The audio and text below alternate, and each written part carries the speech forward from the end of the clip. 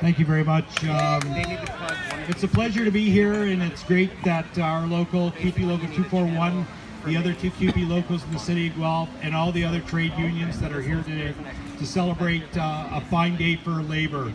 Uh, in the city of Guelph currently, we are going under service reviews, and there's going to be some serious decisions made by your council on September the 18th in the future of recycling and waste disposal in the city of Guelph. I would encourage you to take the time today to sign a petition or go on the website of keepguelphpublic.ca. Uh, in that, it generates emails to your ward councilors and to the City of Guelph, Cam Guthrie. Um, we are starting a full-fledged campaign next week in the City of Guelph with uh, the support of CUPE National and the OFL and the CLC. So I would encourage all of you to get behind this campaign.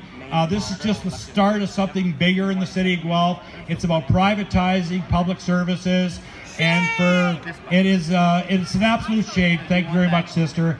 And I encourage all of you to stand up. Uh, we will be having some type of rally information picket on September the 18th after 3 p.m. Uh, in front of City Hall. We will also be in part of the council chambers that evening. Uh, we will be speaking at the mics that evening.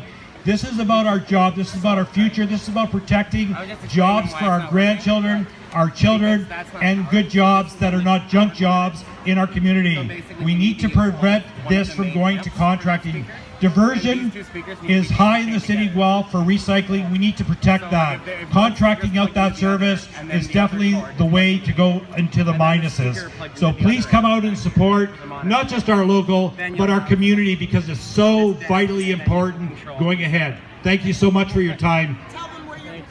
And my position is, if you Google it, no, it's just over to the side of the, the path. So I encourage all of you to get involved politically, uh, stand up for your rights, and protect public services because that's one of the reasons I'm involved in the union is to preserve our public our public services. I believe in our public services and I know that the sister locals and the brother locals in this platform also do. So thank you very much for all your support.